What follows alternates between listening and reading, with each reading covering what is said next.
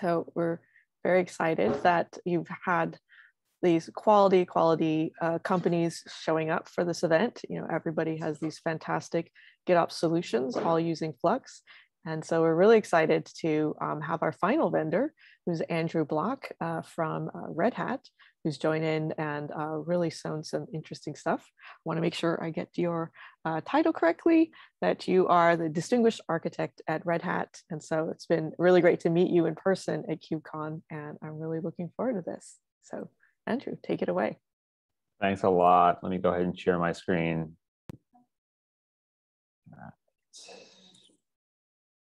Great. So once again, thanks to everyone from the Weaveworks team for inviting Red Hat, myself, to be able to showcase how we can leverage Flux on OpenShift. So let me just go full screen really fast. So my name is Andrew Block. I'm a distinguished architect from Red Hat. Uh, I've been working in the Kubernetes and container um, realm for quite some time, probably since the early Docker days, definitely pre-Kubernetes. Uh, I do focus on security and automation. GitOps is certainly one area in particular that I uh, know well too well. I work with customers. I'm customer facing. So I work in the trenches, hearing how organizations, large and small, work and some of their pain points. And then I try to bring them back to the open source community because one of the key areas that I see is that the open source community tries to think big, which is great. Many organizations aren't quite there yet, so we try to meet in the middle and see how we can take the best of both worlds from what the what the upstream community is trying to do to how we can employ that within traditional enterprises. Uh, I am a contributor to many uh, open source projects, in particular recently the Helm project, as well as Project SigStore. Now, our, you know, our folks from the VMware Tanzu team just talked about the secure supply chain. Uh, that's one of the key areas that SigStore is uh, looking to address. I've also written a number of books out there, uh, Learn Helm. So if you want to learn more about the Helm ecosystem, uh, you can go ahead and read that as well as uh, Securing Kubernetes Secrets. Uh, it's currently uh, getting, it's currently being published. Um, so there's, if you're familiar with Manning Publishing, it's in MEAP status. So you can at least start taking a look at some of the work as it's coming along. And uh, you know, we just mentioned I was at KubeCon last week, uh, did speak last week at GitOpsCon and KubeCon, both great events. So especially as those continue to rotate across the world, if you're around go ahead and um, try to attend if you can, at least virtually or in person. So first of all, big idea is to drive innovation. Every organization is trying to unveil new opportunities. And one of the ways that I see that is by first innovating, looking for new ideas, but they also want to be able to do so in a consistent fashion so that regardless of where they're going to be deploying, they want to make sure it's standardized across all environments but they also want to have the automation to reduce the manual actions. How can you scale effectively if you're trying to achieve all these different goals? And that's really where a couple key themes have emerged over the past several years. And we're not going to be talking about anything groundbreaking, especially since you know we're here at GitOps Days. It's really looking at two areas, two ingredients for success. First is going to be containers, container orchestration. So really that atomic packaging model for delivery so that you can ensure repeatability so that you don't have servers that potentially are bespoke configured one way in one or one environment and another way in another environment it's how you how you scale effectively and be able to manage the scaling so containers are great when they were first created they still are great today but that's really where kubernetes and these container orchestrators really started to take hold because it became a management problem you have all these wonderful containers but if you can't get a grasp on them it's really difficult to be able to scale it to wherever you happen to be hosting your infrastructure, whether it be in the traditional data center or all the way out at the far edge. And then this concept of GitOps really emerged itself as a way to achieve great success using containers, having that centralized source of truth, declarative configuration, as well as a tool that can help manage your GitOps processes. Because you can always store your source code in Git, but how you apply it to your destination is really the secret sauce and it's the tooling that is uh, really essential for that. But on top of that, we got two areas that emerged. We have DevOps. DevOps, the ability to use GitOps and a lot of the containerized technologies to be able to increase the speed of software delivery. We're able to bring in two bespoke areas, which is your operations team and your development teams, bringing them together to really provide this holistic solution to accelerate application delivery. And it was great. It helped uh, bring down a lot of barriers, helped get software out there faster. But especially recently, this additional trend really started to emerge. And it was this concept of DevSecOps. Because as many of you are aware, security is you know front and center. A lot of industries are becoming you know compromised by software and malicious software and risks. This concept of DevSecOps came in to take the benefits of DevOps and introduce security as a way to really provide a way that brings in your entire organization because a lot of times I work with customers, they go ahead and they work on the DevOps processes. It works great, but then they're ready to deploy it to production. And then security team knocks on the door and says, Hey, so about that deployment, you got to go back and fix some things. That slows things down. It ends up kind of derailing the entire DevOps process. So DevSecOps really emphasizes bringing security at the forefront. So you operate securely, but also design your application securely and operate in a, in a traditional fashion. It's one of the key topics that I talked about at GitOpsCon last week was how do we properly secure our GitOps? And that's a that's a, it's another talk I'm happy to give. But aside from that, I at least wanted to say that security is fundamental. So when we're talking about GitOps, we need to make sure that we have proper secure operations. And really, that's where I'm going to introduce uh, the OpenShift container platform from Red Hat. This is Open, Red Hat's um, Kubernetes distribution to enable a secure operation, but also gives you a lot of additional features like self-service capabilities, automation, collaboration between multiple groups, role-based access control, multi-tenancy, as well as, as I mentioned, to go back again, a secure environment that really is embracing a lot of the Red Hat values of being open source so that we have great contributions to the community, but is enterprise grade certified, validated, and trusted. And one of the benefits of GitOps is when you introduce Flux. Flux is that GitOps engine that enables you to achieve GitOps in a Kubernetes environment. And coming together with OpenShift, you really have this perfect match between the two solutions. So what can what can you do with Flux on OpenShift? First of all, you can go ahead and have a one-click deployment through Operator Hub for a seamless installation and deployment of Flux itself. You can also then apply many of the primitives that make for a proper and, and standard OpenShift deployment. You can employ appropriate policy management so that you can leverage a lot of the users, groups, and role-based access controls that are part of the OpenShift ecosystem. You can enforce those security controls so you can take advantage of a lot of the robust security controls that OpenShift provides for both platform administrators and consumers.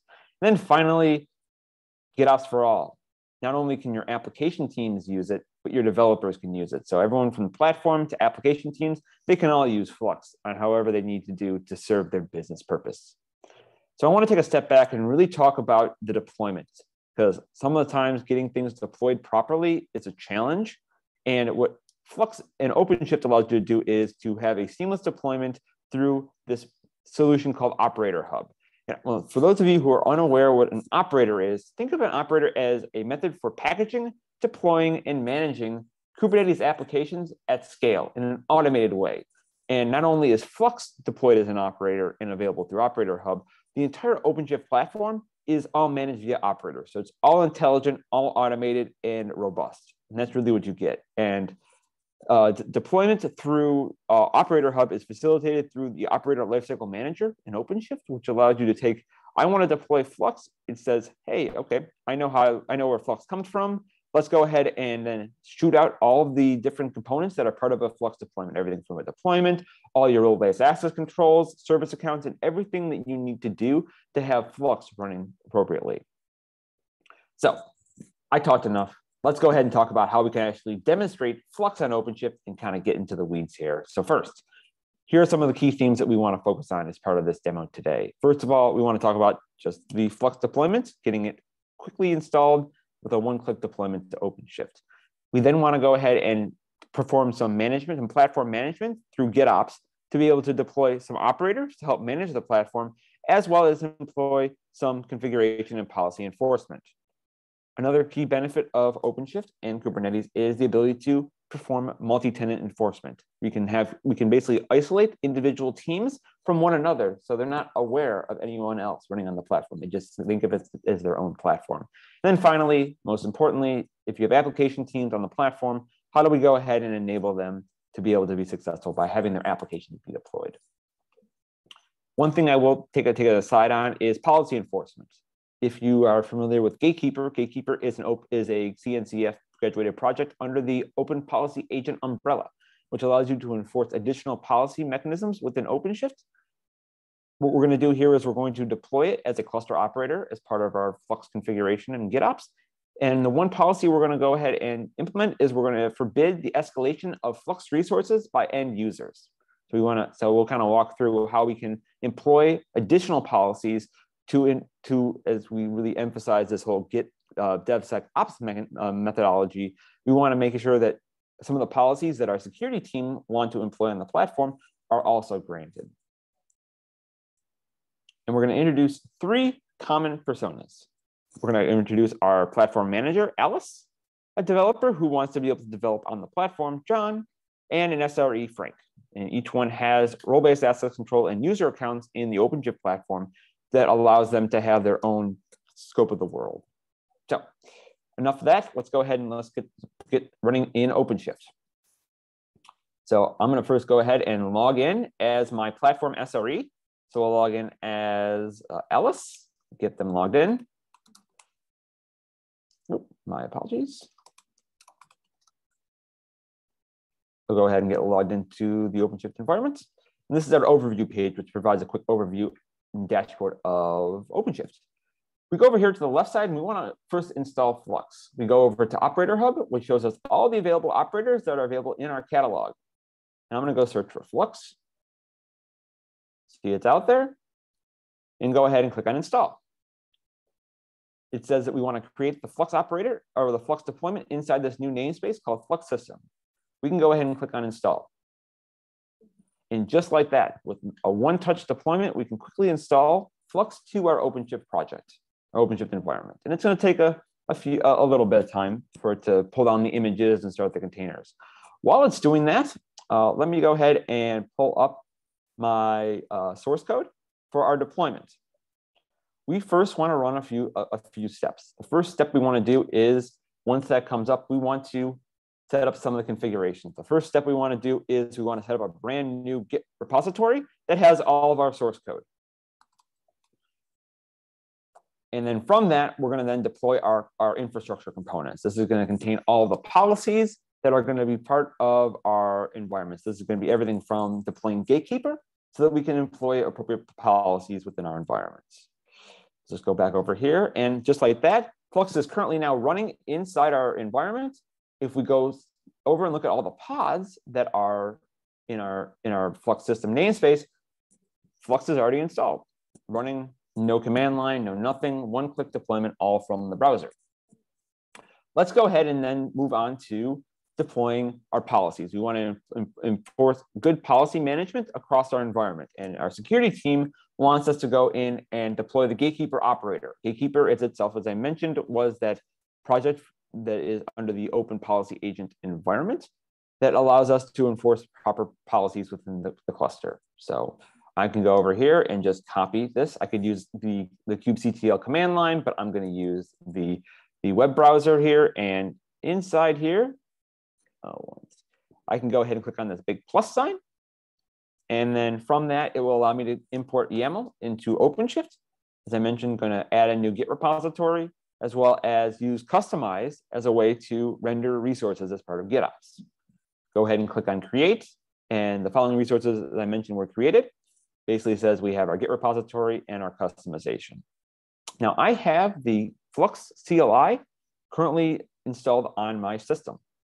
We can we, we don't necessarily need to use it, but I kind of want to just show it just to show uh, use it, pardon me, to show what we have in our environment. So I'm going to go ahead and do Flux get all and then specify the namespace Flux system. And you'll see it's going to pull in saying, hey, I pulled in a Git repository and I have a number of Kustomizations that are going to be waiting to be deployed. Kustomization is leveraging a customized templating engine. If you're not familiar with that, it's a way to manage configurations so you don't have to go ahead and run kubectl apply or create on all these different resources. You can point it at a set of directories and it will not only process those directories, but also perform some templating. So this takes about two or three minutes for it to pull down all the resources. So we'll give it a moment for it to do that. While it's doing that, we can see and watch some of the configurations as we go along. Uh, OpenShift also provides an API Explorer, which allows you to look at all the custom resources, all the resources that are available on the platform. So I can search for Kustomization, and I can see all the different Kustomizations that are currently available inside this Flux namespace, every single one of these. So if I click on one of these, multi-tenant infrastructure, you can basically provide a quick little overview of uh, the current state of this, of this policy. Says it was successfully applied. If there were any errors, it would then show it here inside the UI. Um, just going back here, checking the current state of our infrastructure components. Let's see, because for, as you see, we're starting to get some trues. This means that it's slowly reconciling. One of the benefits of GitOps is it's going to perform this constant reconciliation loop, ensure that all the resources as we declare them are set up appropriately.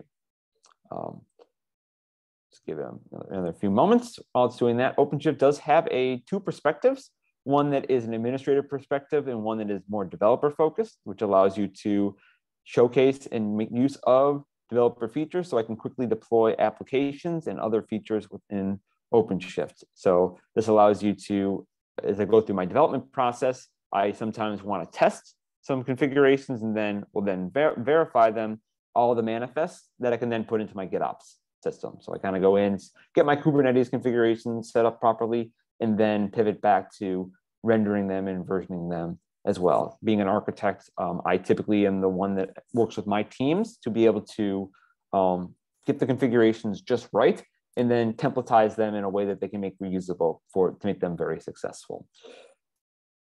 Uh, double check back, see what the current state is of our side of things, and we are all true here. It's a little hard to see, but if we kind of, we'll just make it a little smaller.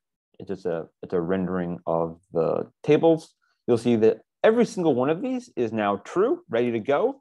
If we go look at our uh, gate, our project list of projects, you should see one out there for uh, Gatekeeper, I believe.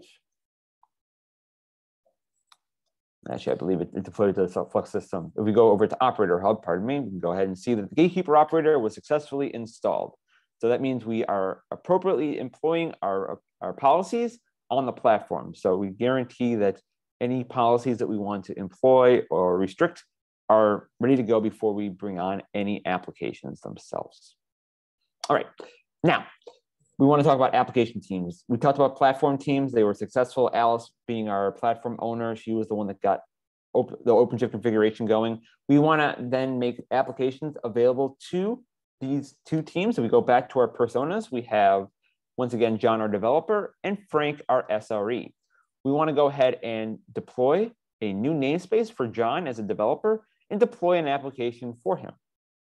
If we go back over here to our set of YAML, we're gonna go ahead and create our staging environment, which allows us to take these configurations and it's gonna stamp out a brand new namespace called apps and deploy an application and provide access for John.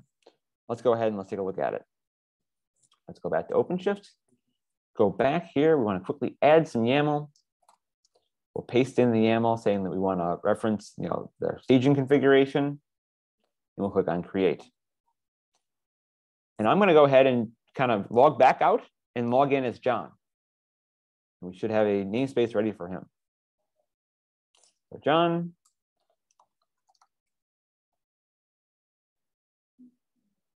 And you see we have this brand new namespace called apps.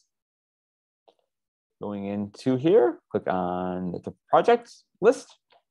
We'll list all this topology view provides a quick overview of all the applications that are currently in the environment taking a few moments. The bandwidth obviously is a little slow on the Wi-Fi. You know how it is. And you see we have this new, this wonderful podinfo application where we can see all the different features of the deployment. In case we have the deployment, a set of pods, multiple pods are running, horizontal pod autoscaler, so that we can, you know, if we get additional traffic to this application, we can easily scale up, as well as a route. A route is a OpenShift um, way to expose the application outside the cluster.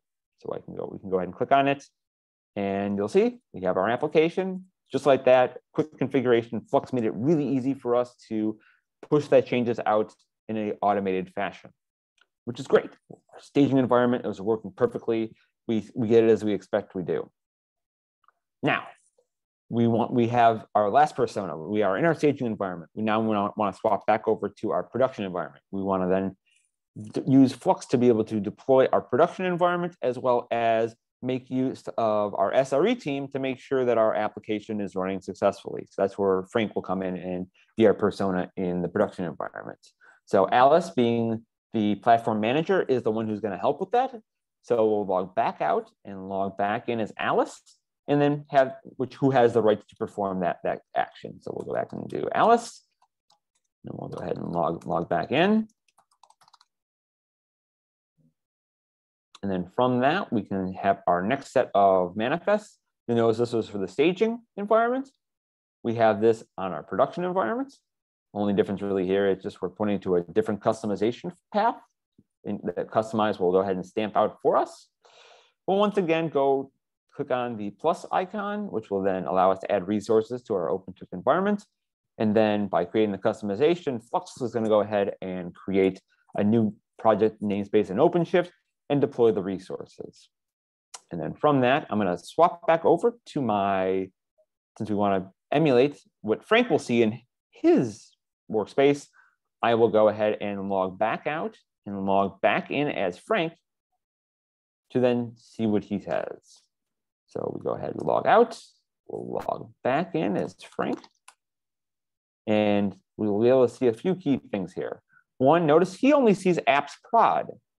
He doesn't see apps, he doesn't see our regular apps, which John has access to. This really emphasizes how Flux is able to help us out employing multi-tenant environments. Now, this could be all within one cluster like I'm showcasing here, or it can be in multiple dispersed clusters. It was just easy for demonstration purposes to just focus on one cluster. So I can go in here, once again, go to the topology view, and then see that my application is currently running successfully I can then click on the route that's created and ensure that, yep, as the SRT, SRE team, you can ensure that it's running without any issues. Great, awesome, perfect. The last thing I'm gonna do is we've now verified that John has access to um, the development environment. We have Frank running successfully in our as our SRE, making sure the application is running in production. As you see here, we're getting the nice, nice, you know, he's happy. Our little icon here is very happy. Uh, so our application looks good. Perfect.